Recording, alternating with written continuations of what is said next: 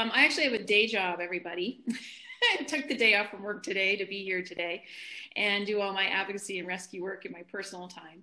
And in my day job, I had the pleasure of hearing Patty speak. And she was actually speaking to CEOs all over the world about endurance and resilience as a leader. And I was like, gosh, so much of this is resonating with me as an advocate. And I reached out to her to see if she'd be interested in talking with all of you today about the importance of self care from an advocate's perspective so that we can continue um, to be strong, resilient, and have that endurance to continue to be a voice for wolves and, and all the things that we're passionate about, truly.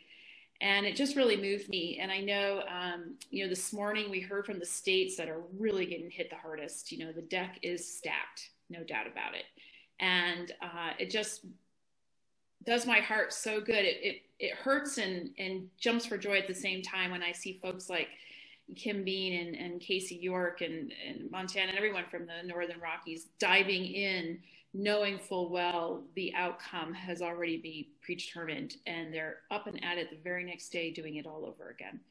So, um, Patty, welcome. Um, you. you have an amazing background, amazing story yourself, and please consider this an interactive session with the three of us.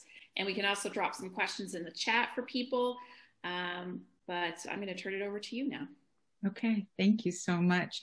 You know, I'd love to be this to be as interactive because if I'm not going and addressing something that somebody would love for me to talk about, um, as Betsy knows, um, I'm very flexible during our discussions, so do not uh, hesitate to interrupt the flow because I want to make this most useful to everybody.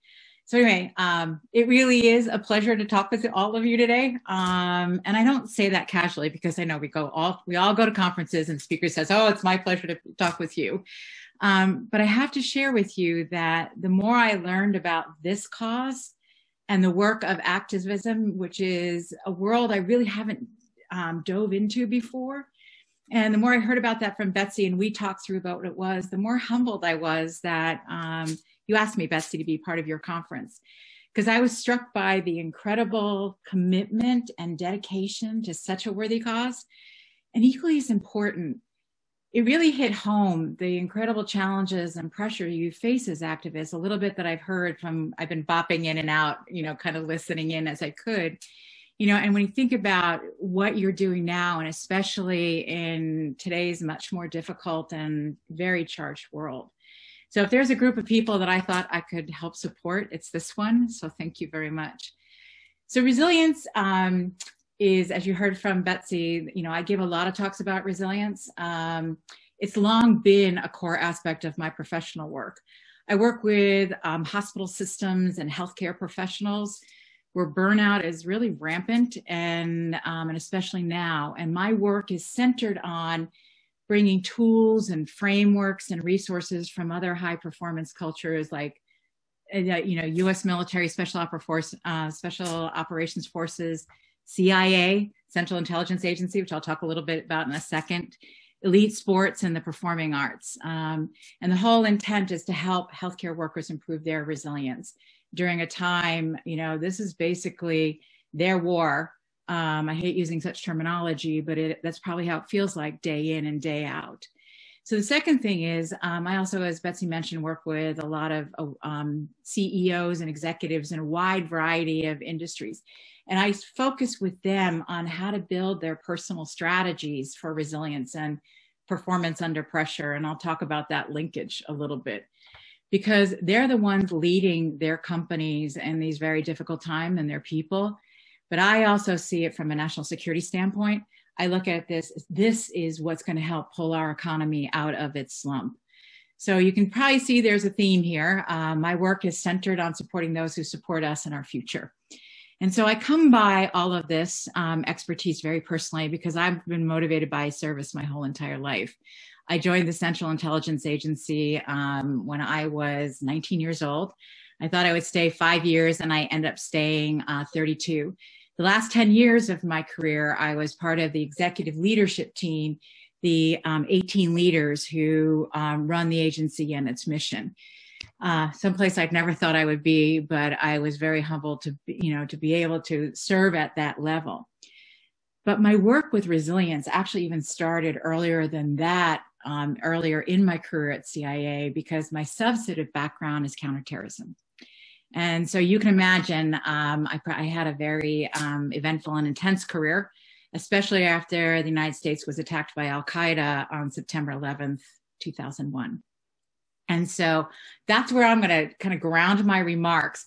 But what I'd like everybody to be listening for is what I talk about, how does it apply to you?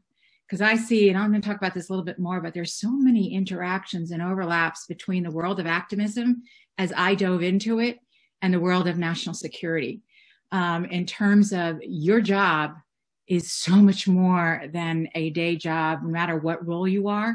I mean, you have long days where you are doing your day job, as Betsy just said, and then you're doing your activist work. You're championing a cause that's not always well received, and that there's peril in that. There's also that emotional toll of wanting to, you know, to save something, to be committed to something where you know people and animals are counting on you. That takes a lot.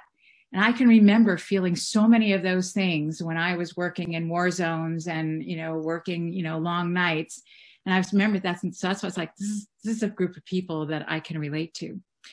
Before I dive any deeper, I just want to make sure we're all on the same page about resilience. I'm using the definition of resilience from the American Psychological Association because it defines it so well as the process of adapting in the face of adversity, trauma, threats, or significant stress. And it includes and it goes on to say it's not only the process of adapting, but it's those practices that that help people to not only recover from these challenging times, but also to facilitate their growth and development.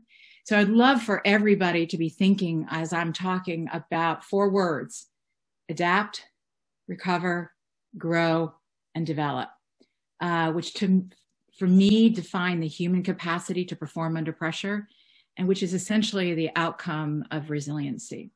So it's more than just bouncing back or mental toughness or grit or fortitude, because those are terms that really are talking about powering through something. They're not really, and resilience is so much more than that. Resilience is actually stri- thriving in some of that. I'm not glorifying stress and I'm not glorifying tough times, but I'm saying you're, you know, people who can get through that with some degree of energy and focus and um, confidence, that's resilience, and it's different. So after the um, terrorist attacks um, against the United States in 2001, um, I essentially worked seven days a week, often 14 to 16 hours a day for about seven years, to include serving in a high threat environment overseas for a number of years. And I was able to survive and even thrive during this time because of three conditions. The first one was my ability to manage my stress and my mindset, which I did by taking care of myself to the uh, extent I could. I don't know if people are familiar with TRXs. It's a Navy SEAL suspension system, but it allows you to work out no matter where you are. My uh, TRX goes with me everywhere I go because even when I just only have time to stretch, it's wonderful. Um, and I also try to make sure that I wasn't always drinking junk food, I mean, eating junk food or you know over drinking in the evenings you know when you're trying to decompress that's what self-care is all about and that's what you know managing your stress is making sure you're taking care of those things and not falling into bad habits and i also developed some other coping strategies that allowed me to navigate with some degree of calm and a lot of positivity and energy which is what it takes to get through all of this number two the great teams that i was privileged to lead um, or to be a part of because we took deliberate care. And I think that's all of you, like when you show up in different places, we took deliberate care to kind of get to know one another, uh, figure out how to leverage each other's strengths um, and expertise and how best to work together. I was leading teams during this time of people who had never met me and had never met each other. We were thrown together because of circumstance. We were plopped into war zones or we're starting up new capabilities. And we needed to be at our best and as quickly as we could. The third thing was that motivating feeling of being part of something bigger than myself. That of what I was trying to do was to protect the United States against further attack and figure out who was attacking us so that we could send the military or uh, you know special forces against that people to you know so that they could not attack us again and so it's that sense of belonging it's that common purpose with others. It's feeling that your contribution mattered and that I had value added. These are all very fundamental human drivers. But those were the three things that really got me through those seven years. I can't say it was a joy and a privilege to work like that. And I'm not, I'm not going to say that I was an example of, you know, inspirational leadership 100% of the time. But the consistency of my overall experience during this time gave me the resilience I needed to put up with it, to achieve, to contribute, and to thrive. Because it also gave me the resilience to, that launched me into the executive ranks of the CIA. Because in crisis, I found my leadership style. I was a little bit of a late bloomer, um, hadn't really distinguished myself previous to that um, in any way that somebody would have said, oh, she's going to be leading one day but it was during this time and it was during working with these people for this cause at that moment that really you know unleashed my ability to help shape and support high performing teams and that's the grow and develop part of resilience so i'm going to focus on this part um, for the remainder of my remarks um, which is the individual side of resilience you know as i said earlier there are such tremendous parallels between your world and the one i left not too long ago that I think that some of this will resonate with you, you know, especially when, you know, Betsy and I, you were talking about what I could talk, um, talk to. So the research on resilience really does reinforce that some of these coping mechanisms that I talked about and these strategies that I developed or refined during my high time of um, my time of high and enduring stress and these are ones that, from my work in high performance, um, which I do on the healthcare side and working with all of these other people, is that you will find these elements in all high performing cultures. Uh, they are endemic, and it's what keeps them working and um, operating at that level. And when you do get into it, there's four foundational pillars to building resiliency uh, that I think will be useful to you. And I also believe, and I, from my own experience and my coaching work, it can be self taught and it can be cultivated in others. Each one of you was sent, everybody was sent the worksheet, right? Uh, Betsy?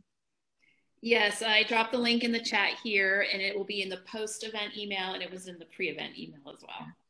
So um, it is just a simple worksheet so that you can grab from what you think is most relevant from our time together here. And it also includes a little self assessment um, because I want you to, to look, to think of yourself against these and evaluate yourself against these four pillars one to five. One being, I haven't really thought about this very much. I don't pay a whole lot of attention. I'm not intentional to five is no, these are, I have very strong um, thoughts and practices in these areas that I feel like I've really mastered them. It's the reason why I'm going to ask you to do that is because some of these tools and techniques that I give you and share with you, um, the ones that I stole from others, and I'll tell you where I got them, um, you may find some of them more useful than others. Um, and so so it knows where you want to probably plug them into um, the work, worksheet. So, um, the first one of the four is self care. And these are the habits, the practices, and rituals that help you recover, reset, manage your energy. And what I like to call is, you know, managing your surge capability. That when you need that something extra, that extra energy, that extra burst of adrenaline, that you've got something in your tank in order to be able to respond to the moment, whether it is to take advantage of an opportunity, because not all stress is bad, or is it to kind of modulate yourself and say, oh, I need to pull back. This is different than self nurturing, which self nurturing is that extra glass of wine that I might have mentioned earlier, or that piece of dessert, or in my case, a piece of pizza that I know I'm not supposed to have. Um, so that is you know, where you just want comfort. And so that's a separate category than self care. So, on a scale of one to five, um, I'd love you to take just a couple seconds and say, on thinking about self care for myself, and especially during stress, stressful times, I'm either at a one, where it's the, I'm the last person I think of, to five, it is I put myself first, like you know, you are in that airplane, put your mask on, and then help the person next to you. You want them it, you want people to put it in the chat yeah. what they think people they are. To put it in the chat. I'd just be curious where this comes up.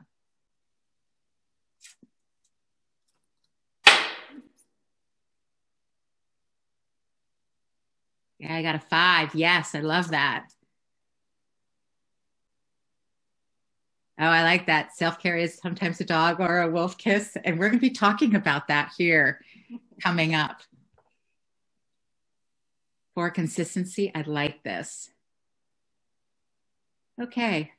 Oh, this is really, we're having a wide variance between people who really do pay attention to this and others where I'm hoping that you'll come away and you'll realize just how important self care is and to kind of top, you know, move it up your priority list because it really is what's going to give you that foundational energy for whatever you have to uh, feel. Oh, Steve is a four. of course, naturally. yeah. So, according to the research, uh, thank you everybody who has been. Uh, oh, I like this. Fur first. That's great. Um, so, according to the research, people are three and a half times more likely to be resilient when you're in good health. And in other words, health, your health has a really powerful impact on our ability to survive and thrive under pressure. And this means paying attention to how do you fuel your body? Do you take time to make sure you're getting enough protein? You're moderating your fats and your sugars and your refined products. You're doing what you need to to give you energy which is where your protein, nice balanced diet. These things are important. And I'm not talking about being pristine because obviously from my remarks earlier, I'm not. But we do, my husband and I really do pay attention in this area, and especially when we were serving overseas um, in high stress environments. The second part of this is of your health is really paying attention to making the most of whatever sleep you can get. Not, you know, I know everybody says eight hours. We cannot always get eight hours But make the most of what sleep you can. What rituals make sure that you can get to sleep at a decent enough time? You're waking up roughly around the same time. Um, you have a darkened room. You meditate before bed. You have a um, morning ritual that helps wake you up. These things are really important to managing energy. The third thing is intentional recovery time, which is like you heard me, I work out wherever I can. Um, and this is the getting outside piece. This is whatever movement you can put into your day. Movement is so important. Sitting too long, being stressed, really focusing too long is not healthy. I will tell you, most people's creative ideas do not come when they're in front of the computer. It's when they off going off and doing something else. And so the last point is that self-care really is all about play too. So for those of you who have dogs, um, you know, who mentioned that in the chat. I think it's great. It's not just for kids. Play makes us happy. Um, animals make us happy. Um, so it's a key to reset because we let go of work. And I stole this from a book called Time, or somebody said Wolf Dogs. That's right. Um, I stole this idea from a, a book called Time Off, which posits that rest is just as important, not just to recover from work, but it's your work ethic is your rest ethic should be more important than your work ethic because it involves us. It's something we get absorbed in. It soothes our mind and it frees our body of whatever stress it's under. So, um, so that's so that's self care. Anybody have any comments or something that they would like to add to this on self care for especially those of you at the four and five level?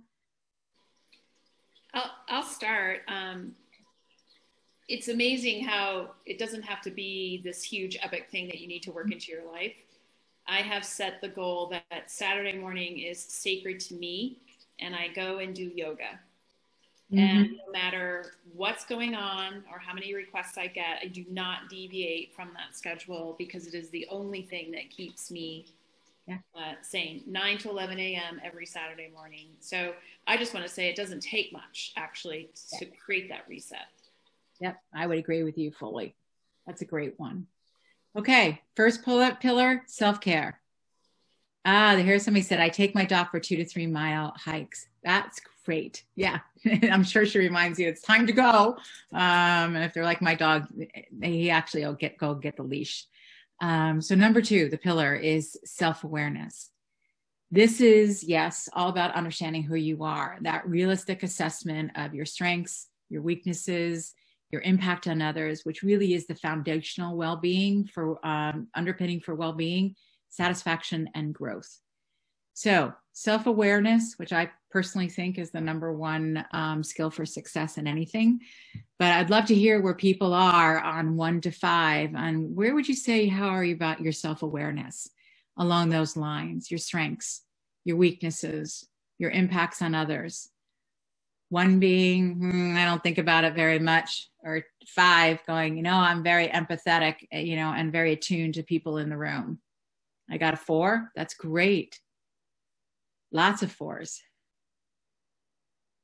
Oh my gosh, I wish you people had all been working with me way back when I was working overseas.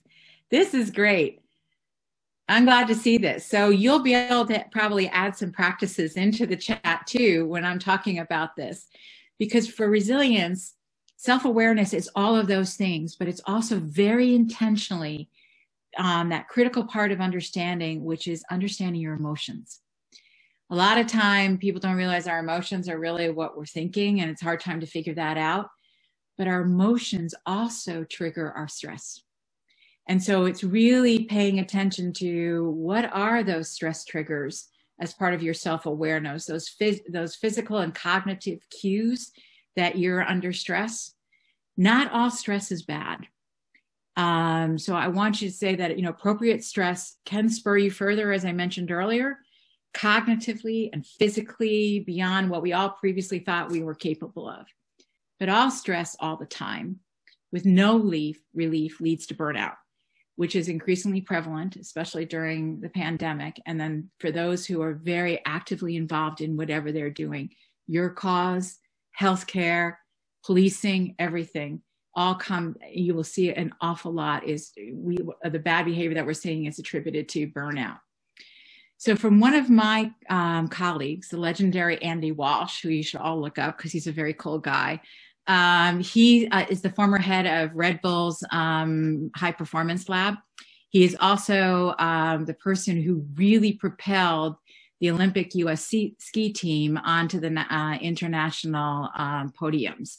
Um, just amazing. And he teaches about this whole idea of understanding your uh, stress triggers he works with his athletes and now a lot of his clients to say, start figuring out what is your stress curve and kind of figure out where are you on your stress curve so you can figure out how to modulate your stress uh, before it impacts your ability to respond well or it robs you of an opportunity because you lack the energy to take advantage of it. So his view is if you can name your stress, you can tame it. And so he teaches that the way you do that is so to develop that stress pattern recognition that you're looking for and what your own stress curve is. Every time you find yourselves feeling stressed, write it down in a little on a piece of paper, in a notebook or something that basically says, Today, this were the times I got stressed. These were the, what was happening when I got stressed, and this was my response and it starts giving you that awareness of you know what triggers you because that's the first step to starting your um, stress mitigation plan.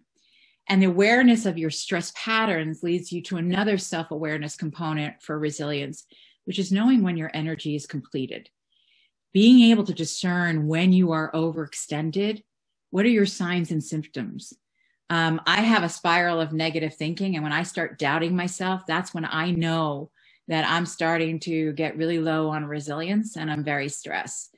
Um, other people get irritable. Other people procrastinate on things. They don't want to deal with things, or they have this, you know, this constant feeling of being overwhelmed. This is all really good knowing because when you understand where you are being overextended and by what, the next piece of this is learning how to set those boundaries. Um, and what I'm talking about is that, you know, learning how to say no um, in a way that you are comfortable with because and that others can hear and respect. And for those people who have a strong degree of service, it is really hard to do that because you're thinking of the people who count on you. You're thinking of the cause that you are, you know, championing.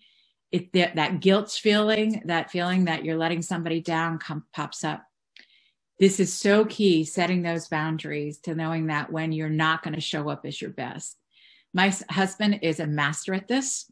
Uh, he's known as a leader who never says no, but I will tell you, he is great at building on your ideas. And the next thing you know, he's redirected you into another channel that he thinks is better. And you're excited about it. But he never said no. Um, so it's some things to think about, you know, and everybody teases him about his inability to say the no word. So anyway, so anybody have anything else that you want to add to? Um, I've heard, you know, spending as a passionate wolf advocate and RN. Oh, how wonderful. I spend quality time with my two fur babies and visit my favorite wolves, wolves at a wolf, wolf preserve. I think that's wonderful. Looking for those areas that really re-energize you. Somebody says, I'm always stressed out. I, we can help you with this and figuring this out. Okay, so we've gone through two pillars. Uh, we've gone through this, uh, um, we've gone, what do I do? Self awareness and self care. And now I'm going to get to self talk. Self talk is the third um, pillar. And it's really what I call it self talk, but it's really about managing your mindset. And it's what I call cognitive resilience, which I actually teach to my coaching clients. I was able to endure and thrive after 9 11 and now through COVID because I really strive to wake up every morning with positive intent. And it's my little mantra is okay, what's the luck I need to create today?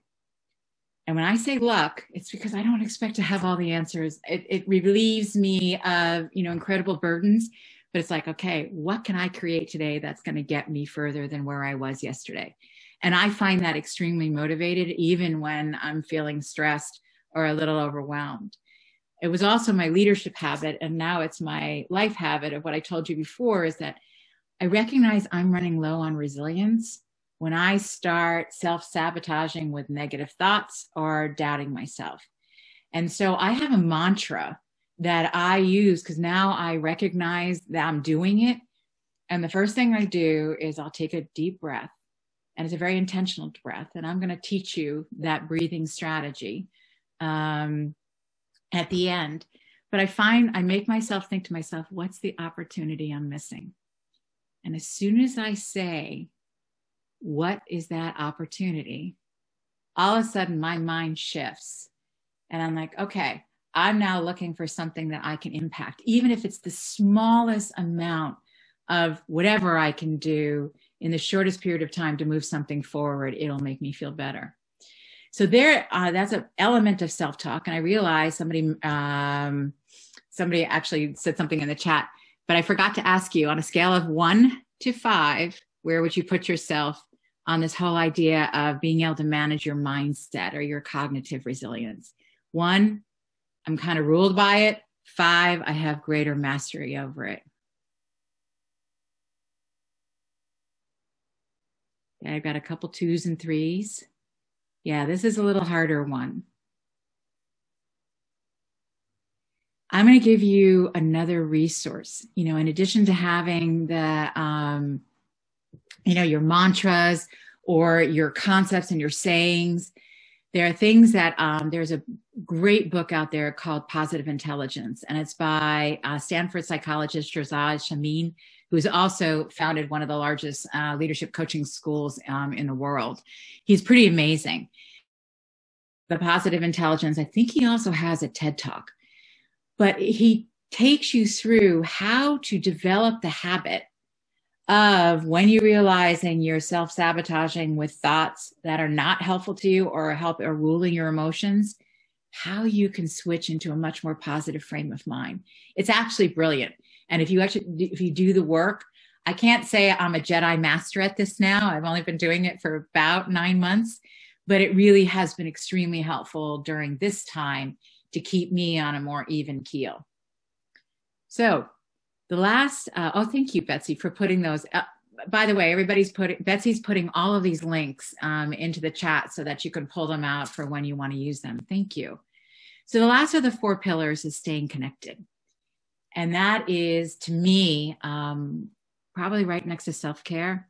That's the next and most important one because it, all the others really kind of build off of those two. So staying connected, that means with your people, your teams, your networks, your families, and your friends. The research is really compelling, even for us introverts in the room. Um, resilience is a collective capability, and it's heavily enabled by strong relationships and networks. When you reach out and you touch somebody, when you just send somebody a chat to say hi, um, when you do things like you're doing today, being part of this conference. And I can see all of you saying, Hey, here's my email. I would love for you to keep in touch. That's what I'm talking about.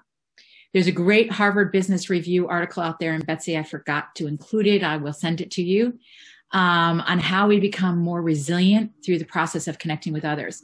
I also like it because it has, again, a little diagnostic with it that allows you to self assess your own staying connected network and where you may want to think about developing your network a little bit more for those times that you may need. Like you find yourself in another town because you're advocating or you're attending an event. Who do you know there? Type of thing through the net, through this network.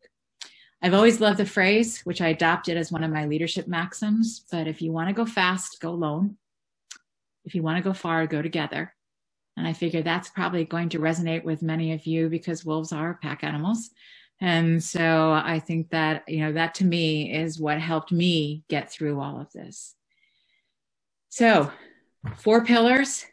I hope you heard some things that you can um, kind of bring into your own resilient strategies or start if you want to do. Um, oh, this is somebody good. Sorry, I'm just interrupting myself.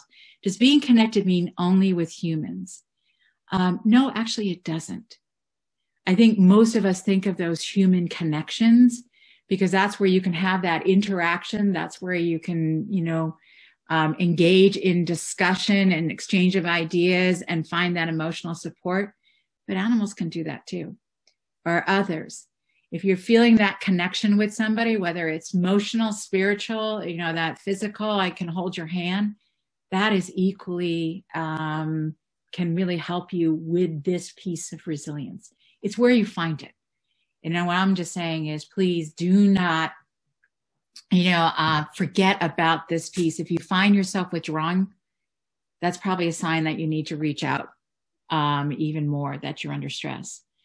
So, what I would hope you would come away with is that the bottom line for developing resilience is that the more you understand yourself, and the more that you think about the tools and strategies that you can bring into your life, you know, as Betsy said, they don't have to be huge, big programs. They can be those small things. You know, um, the one thing that really um, you it brought to mind, Betsy, when you said, you know, that two hours. When I was working in a war zone, um, you know, we when we could, we had something called Sleep in Sunday, and for two hours on Sunday morning, that was your time to yourself um, and we were living in Quonset huts and, you know, really close quarters and people were always around you. But that two hours felt like a gift. It felt like a mini vacation. So it doesn't have to be much, but it can be so rejuvenating. And so, and these are the tools and the strategies like creating the self-talk ma- uh, mantra, employing uh, mantra, employing sleep and morning rituals that really will help you manage your stress, but even more important, your recovery, your energy, and your mindset. And this is what's going to give you the resilience reserves. Do I have a few more minutes? Can I get, take them through the breathing? Okay, so I'm going to take you through my favorite breathing exercise. Um, I at this point I can do this walking, standing, lying down. Um, I will, if I'm stressed and I'm heading to a meeting, I will do this walking down a hall. Um, and it is um, a breathing message method called box breathing. And this is something that I was taught by the Navy SEALs um, in a war zone um, to kind of kind of control your thoughts. It also, when you build this habit, it, you can actually start controlling your heartbeat and kind of calm your physiological system down so that you can choose your response rather just react to external stimuli, which for a Navy SEAL in some of these environments is absolutely critical to their survival. So what I'd like everybody to do is put, you know, your feet on the floor I'd like you to put your hands on your lap and close your eyes. And I, what I want you to do is I want you to take a deep breath in and take a deep breath out. And I want to hear that exhale. And I want to breathe in and then breathe out with a lot of force. Do that one more time on your own, and then I'm going to take you through a cadence of breathing. All right. As you breathe in, I want you to breathe in two, three, four, hold two, three, four. Breathe out slowly two, three, four. Hold two, three, four. Breathe in two, three, four, and hold two, three, four. Breathe out two, three, four, and hold two, three, four. I'd like you to do that one more time on your own. Hold. Breathe out and hold. So you can open your eyes and start breathing normally. But I'm hoping you could start feeling because it's not it's not easy that first couple times to hold your breath right after you've breathed and you know you breathe in and then you breathe all the way out. But that's the piece that's most critical. And that's where you focus. Because if you're going to find your mind wandering, it's during those periods. But if you do that for four minutes, four times a day, for four months straight, you're going to be developing a new habit like I have. And it's something because at that, what I just said, that power of fours, that is what's clinically proven in order to be able to adopt a new habit and start. And because when you take, when you have a habit, your habit then becomes your default. And it's something you automatically default to matters of stress or when you need to think. This is my go to. So I hope you found this helpful. I'd love to hear your thoughts and insights on resilience and anything that you want to share or you think that people would find useful or you want to dive a little deeper into anything that I've talked about. But thank you so much. Patty, as usual, I learn something new every single time. I love it. Um, you know, I, am looking at a comment here about, you know, how do you sleep? Where in this instance, probably calm the mind when obviously we have a lot of really terrifying, horrible images in our head. And uh, I'm not going to lie, there's many nights I've gone to bed crying because did I do something today to even make any dent or change in that when you hear even more wolves, you know, are killed in horrible ways?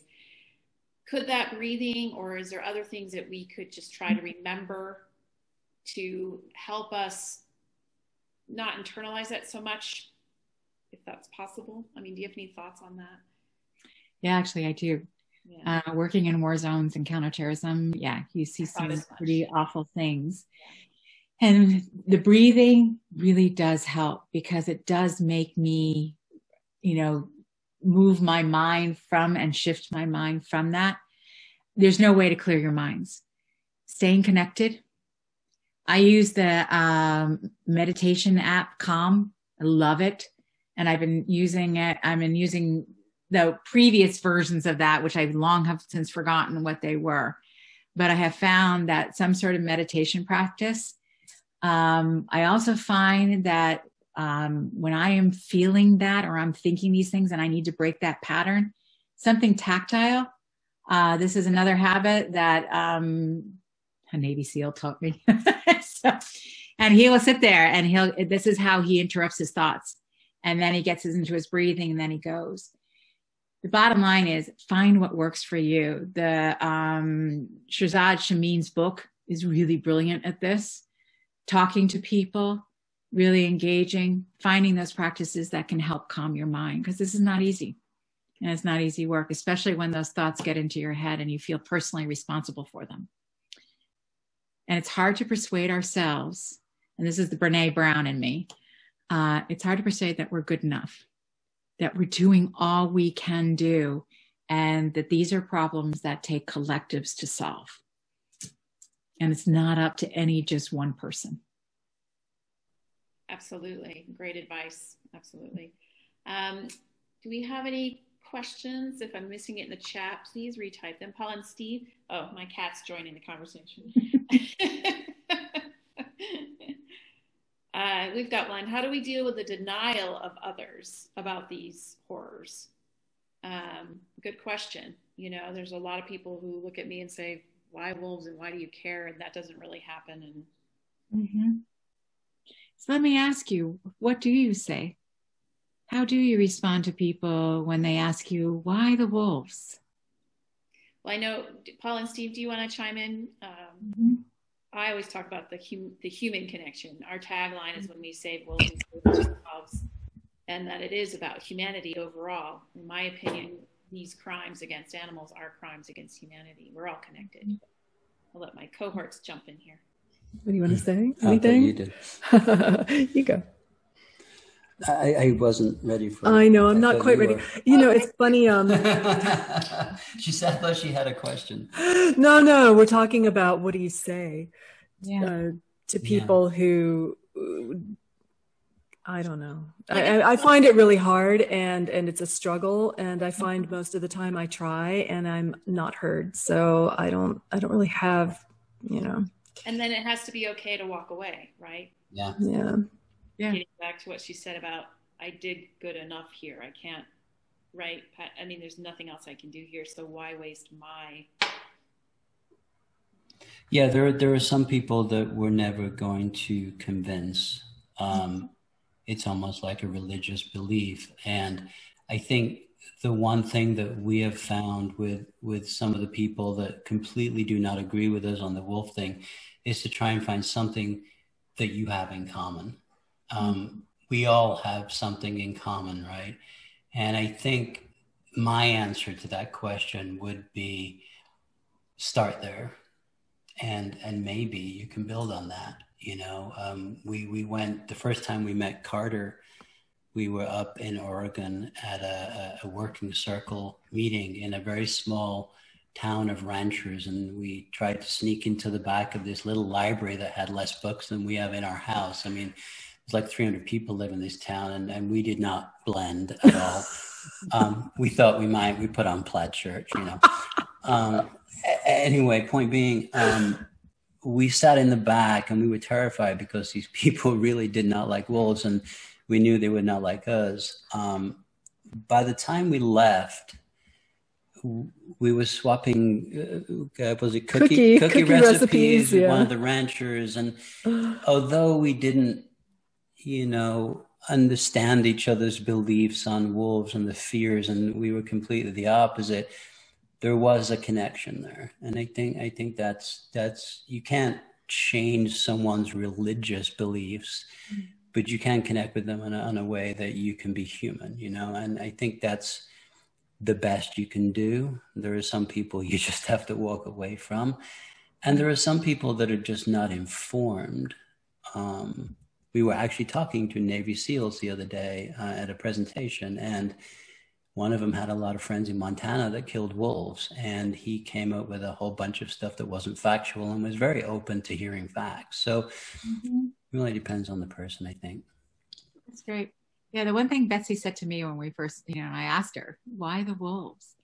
And you had this wonderful way of just saying they're part of this chain of humanity. They're part of a chain of existence that we all depend on. And when you interrupt that chain, in some way there are incalculable you know second and third order effects of interrupting that chain of nature. And i was just like that's so captured me and, and started me. I was like of course i'm going to come you know want to talk with you.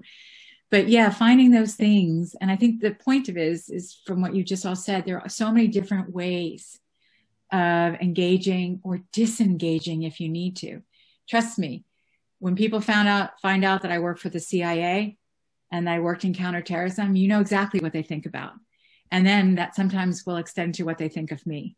And so finding those strategies to engage, find that, you know, personal connection, say, you know, let's not talk about this. You know, it was important work at that time for national security. There are things, you know, whatever else I would say to that.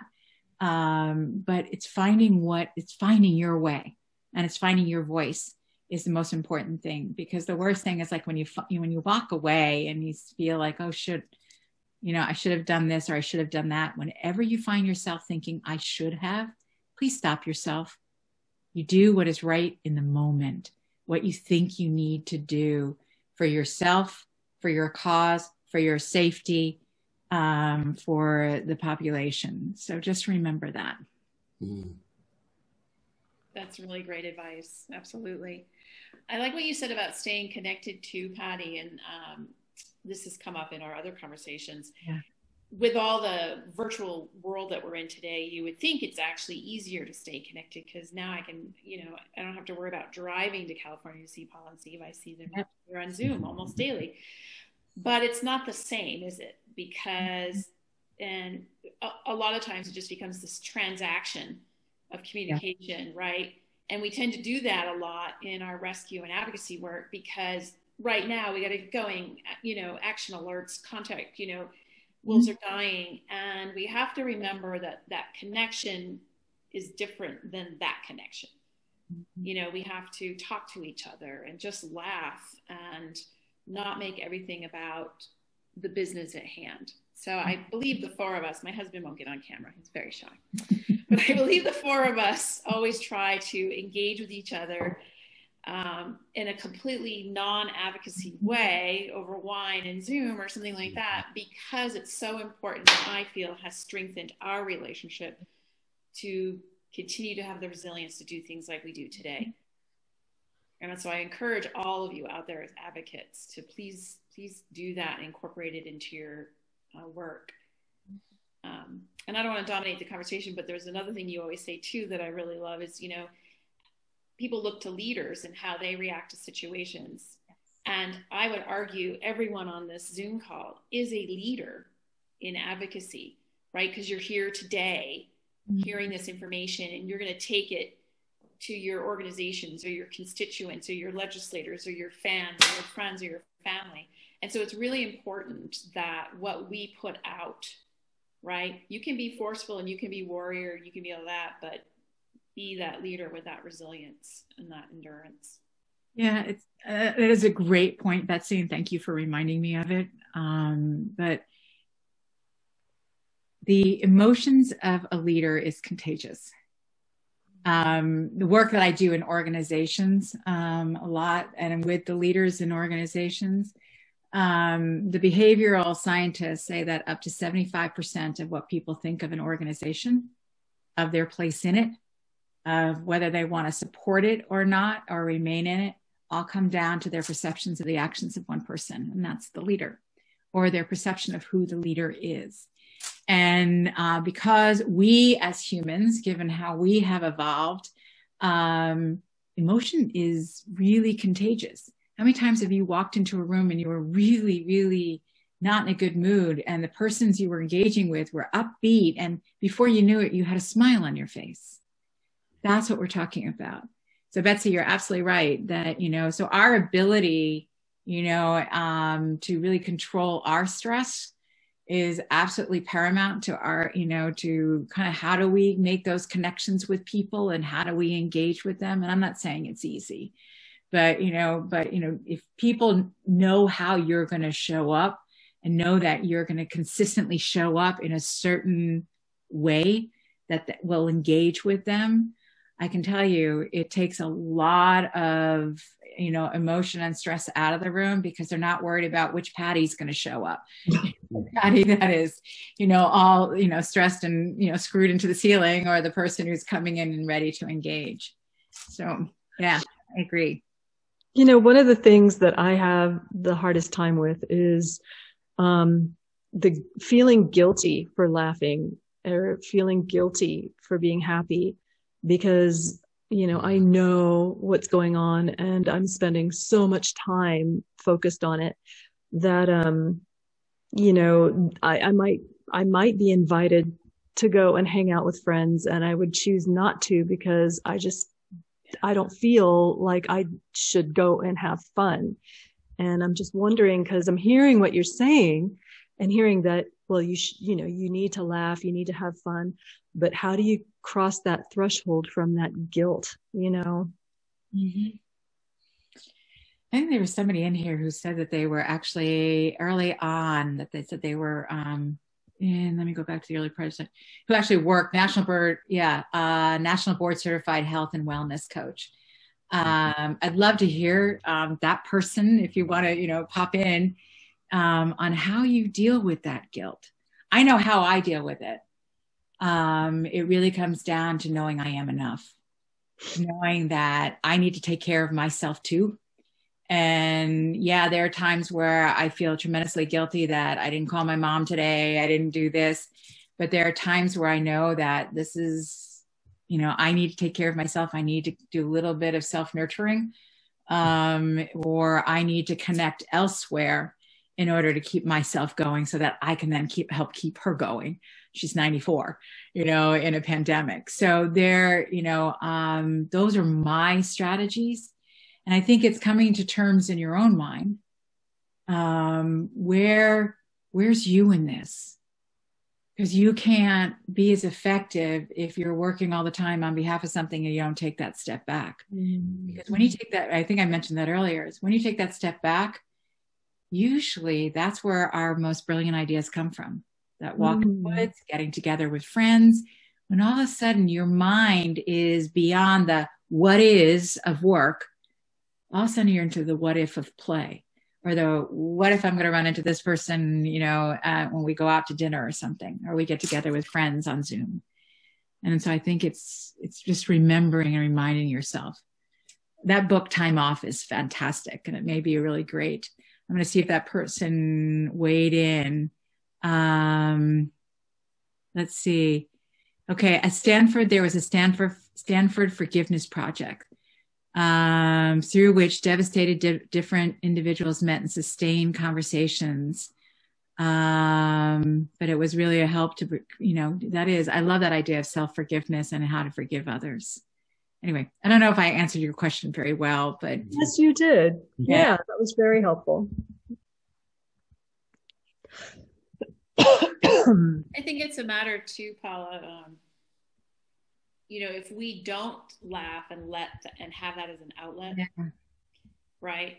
Then all we will do is internalize mm-hmm. and and you know we've all been there. I'm not I'm not preaching to any choir here, and I'm certainly not looking down off a high horse. I mean, I, there's many times where I have we've had really particularly rough days in advocacy and rescue, and we at the end of the day when I laugh, I'm like, gosh, how can I do that after I just came out of something so awful? But then I realize it's absolutely necessary so I can get up tomorrow and deal with that awful situation. So, and some of us, Patty, too, I, um, as I mentioned to you before, uh, in our advocacy work, not me particularly, but others, and certainly Steve, if he's willing to speak to it, have been have been threatened. Yeah, have, have had their lives threatened, um, death threats, um, killed animals placed on their doorsteps. Um, you know, being an advocate, you know, it's crazy, right? First of all, this insanity to try and kill wolves as many as possible, anytime, anywhere, but then to actually threaten the people who are trying to be a voice for them. Um, I'm not quite sure how some of you deal with that, Steve. I don't know if you want to speak to that at all, but that's a pretty big. It's it's a, becoming more prevalent. Yeah, I mean, it it took me uh, a while to get used to it, to get over it at first, and then to get used to it. I mean, I, I put myself in a position that was, you know, definitely was not expecting to. Well, I guess I was expecting to be in that position because we did take an armed guard with us um, into the backwoods of Montana many years ago. Um, but realistically, I didn't in my mind at the time didn't think that I was going into something that was that dangerous. I thought that was a precaution. Mm-hmm. Um, it turned out that it was a very valuable precaution. I probably wouldn't have come back. Um, and that was poking my nose in places where I didn't realize there was so much anger and hatred, and which has really spurred what we do now. Um, it's it's it's it's scary. Um, I don't know if you ever get over it. It makes you feel like a little more aware of things. Um, I think, and a little more aware of um, what you do and what you say and how to say it and how to do it. Um, but yeah, I mean, there's there's a lot of people. I know some of the panelists um, that have gone through the same thing. A lot of times it's just talk, but in this day and age, you just never know. So I think it's really just about being aware and know that if you are being threatened, you're actually doing something important. I think um, because they're feeling threatened by what you're doing, and so you're obviously hitting a nerve.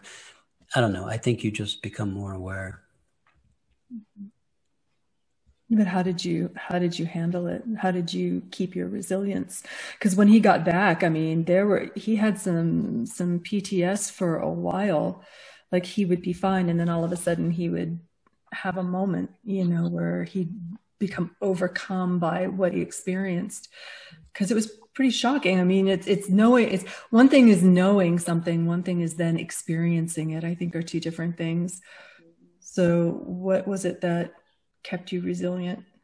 It actually made me stronger, to be honest with you. It actually made me want to push more, um, in, in a sense. And, you know, of course, I have my you know, Kim Beam right here.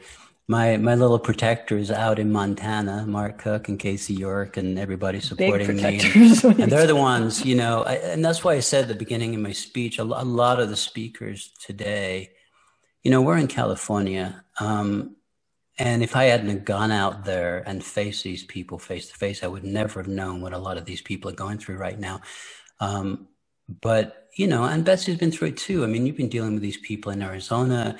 We don't deal with them quite as much in California as, as a lot of the panelists have. Um, maybe that's a question for them because I know these people do it daily. You know, they're all my heroes because we understand now what they go through, you know. So it, it's about being supported by other people. It's about being surrounded by, you know, the people that care about you. And it's about all of us, you know, sticking together and watching each other's backs. I think, I think that's how we, we get through it. Mm-hmm.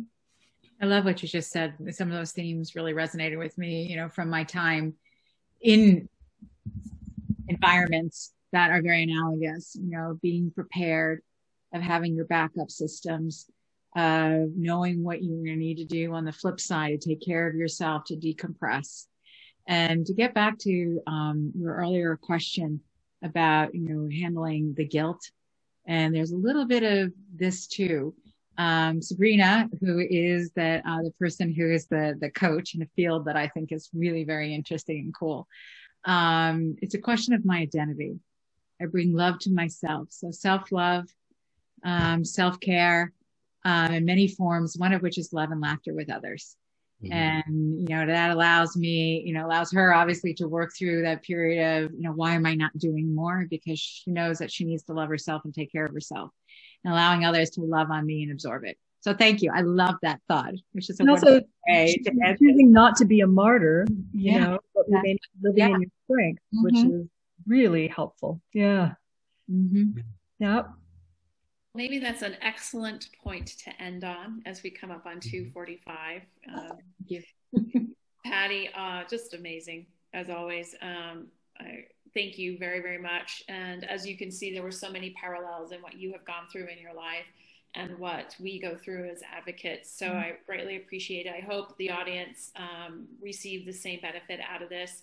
Uh, the worksheet is in those documents in the folders, and we'll continue to post the link. Um, and we're going to take a 15 minute break before we kick in with the uh, West Coast, I believe, is up next. Yep. And uh, much more to come. So thank you so much, Patty. And thank you uh, very much. Thank you. Patty, thank you. Such a pleasure meeting you. Okay. Good luck with all that you do, and thank you.